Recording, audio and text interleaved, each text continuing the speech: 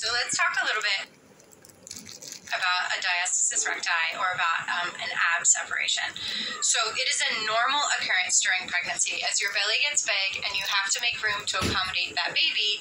Stretching out in the front is an easier place to accommodate versus if you needed it to accommodate moving down or up or backwards. Those just aren't as good of options.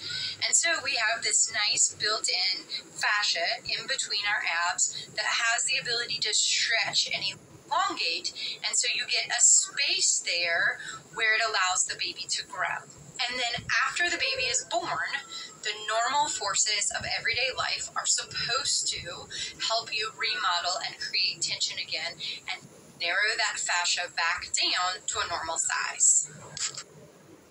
Sometimes that remodeling back down doesn't occur. And the reason it doesn't